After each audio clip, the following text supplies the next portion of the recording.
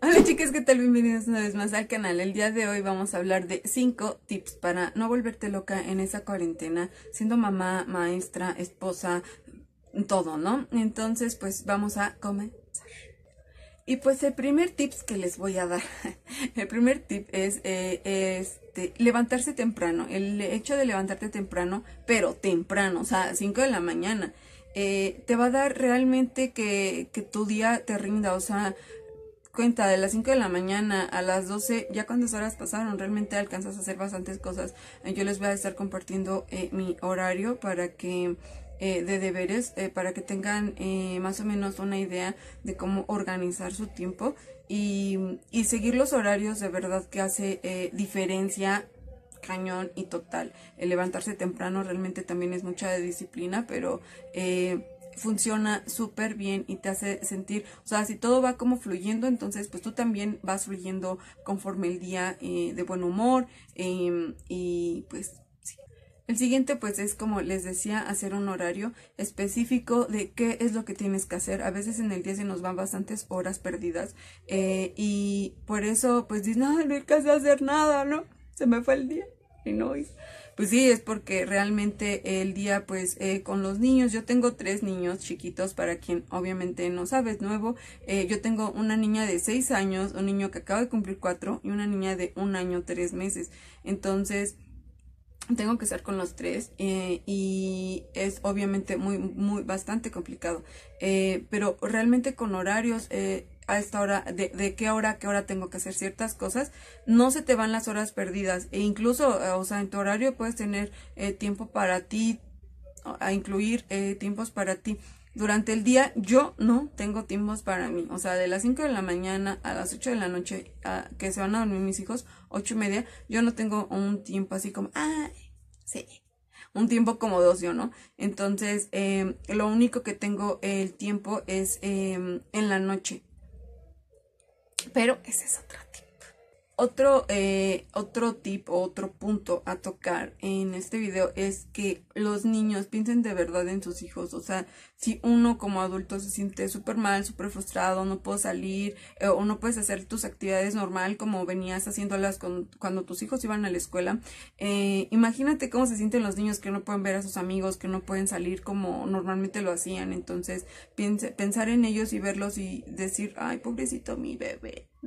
Sea, se le está pasando realmente mal, no, no está eh, construyendo, no está teniendo la niñez que debería tener. Entonces, el hecho de incluir actividades eh, durante el día para ellos como comer eh, lunch en diferentes tipos de la casa, abajo de la mesa, eh, hacer como que casitas, no sé, incluir eh, ideas así como para que ellos también se la pasen bien en su casa y, y no todo el tiempo estén en celular o en tele o en tablet o, o yo qué sé, mis hijos casi ni siquiera ven tele, no tienen celular ni ocupan el celular, entonces eh, también es ingeniárselas un poquito para que cuando ellos acaben sus actividades de la escuela, ellos también tengan otro, otro tipo de cosas que hacer, ponerlos a pintar. Eh, yo sé que a la, a lo mejor decimos, ay, no me va a ensuciar o no, pero son solamente niños una vez, entonces pues hay que comprenderlos un poquito mejor. Otro, otro tip de señora mitad de casa que hacer eh, es el lavar ropa diario, echar una carga diario de ropa. Eh, yo no sé cómo se organicen y cómo es su forma de lavar. Yo uh, ocupo mis fines de semana para salir, despejarme y olvidarme de todo eh, con mi esposo y con mis hijos para desayunar, para estar aquí, para visitar a mi familia, porque vivo retirado de mi familia. Entonces, eh, en los fines de semana obviamente no me voy a ocupar haciendo hacer a profundidad o lavando. Entonces, pues durante la semana ocupo lavar diario ropa. O sea, imagínense, somos cinco, obviamente todo el tiempo hay ropa sucia en esta casa.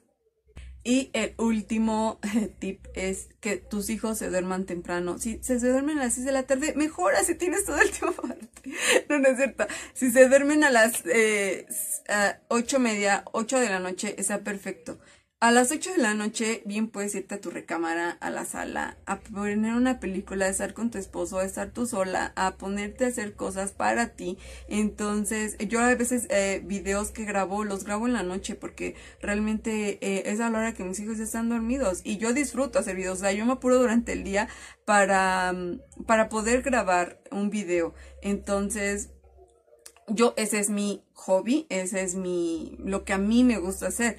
Eh, o editar o, o, a ver una película, a hacer eh, los DIYs que les muestro y bueno, ¿no? Pero eh, a ustedes si no, obviamente no tienen estos mismos gustos, todos tenemos pasatiempos diferentes, ya se pueden dar su tiempo, se pueden pitar las uñas, pueden hacer lo que quieran, pero ya es un tiempo para ustedes, o sea, de 8, de 8 a 8 y media a las de la noche que se duerman los niños, marcándoles un horario fijo, es saludable, súper saludable para ellos. Y aparte eh, para ustedes em, tal vez en matrimonio o para ustedes solos eh, o solas individuales eh, ya tienen un tiempo para ustedes, ya no escuchan nada porque es cansado, es obvio, o sea, no es para hacernos las víctimas, pero es obvio que es muy cansado, es, te, o sea, acabas full, obviamente, entonces también tienes que tener un tiempo para ti, para al otro día amanecer ya descansada, relajada y a darle otra vez, ¿no? Entonces, intenten darse un tiempo en pareja o para ustedes solas o en pareja para ustedes solas, eh, juntos, no sé.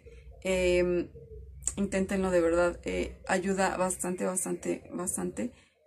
Y pues eso fue todo. Son cinco tips muy, muy sencillos. De verdad que yo sé que es muy, muy complejo ser mamá en estos tiempos de cuarentena y, y, y tratar de llevar todo, ¿no? No, no es porque realmente una se victimice, al contrario, tú decidiste ser mamá, ya lo había mencionado en otro video, eh, tú decidiste ser mamá, pues disfruta ser mamá, vive al máximo esta etapa de tu vida y realmente esfuérzate por eh, tener todo también eh, para los niños, porque los niños dependen de uno como mamá. Los niños no te pidieron ni nacer, ni ellos, o sea, dependen de que tú les des de comer, de qué les des de comer, dependen de el horario en el que los duermas, de que les pongas ropa limpia o que los dejes mugrositos.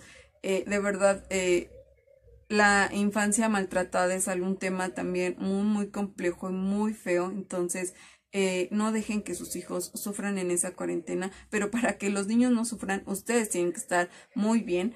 Eh, si tienen la oportunidad de estar en su casa y yo hablo obviamente porque yo no tengo que trabajar, entonces eh, ustedes tienen la oportunidad eh, y obviamente este video es para este segmento de mamás que no trabajamos, que estamos en nuestra casa y que nos dedicamos a este, esta parte de mamá, maestra, este y todo, ¿no? Entonces, eh, para eso va dirigido este video. Espero les sirva muchísimo estos tips que me han servido bastante a mí con, como experiencia como mamá con tres hijos. Obviamente yo no soy experta, ni soy psicóloga, ni nada, para nada, nada que ver, eh, nunca, jamás. Entonces, ni soy la mejor mamá, ni nadie es la mejor mamá, pero lo podemos intentar y podemos ayudarnos. También nos podemos ayudar de ver escuelas para padres, de leer sobre, sobre el tema, o sea, cómo le puedo hacer Em, los horarios de verdad, como les repito, para los niños son súper buenos. Espero los tomen eh, en cuenta para sus hijos.